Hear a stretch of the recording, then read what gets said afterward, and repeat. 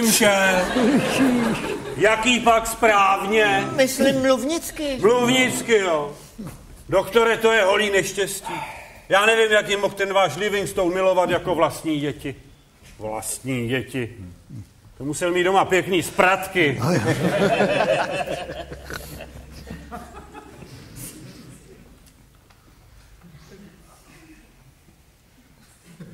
Co pak spratky? Ale jí malý.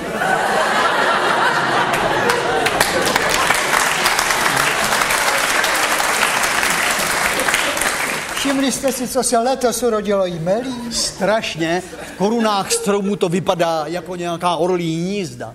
A víte, že Melí je cizopasník? Jděte. No jo, my na to chodíme se synem každý Vánoce. A, a, a co je pravdy na tom, že přináší štěstí? Jistě, jinak by to lidi nekupovali. A jak vy to trháte? Tak syn vyleze nahoru s pilkou a já čekám tady dole.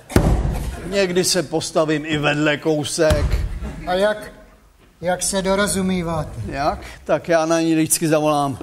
Hergot, házej! Dobrý.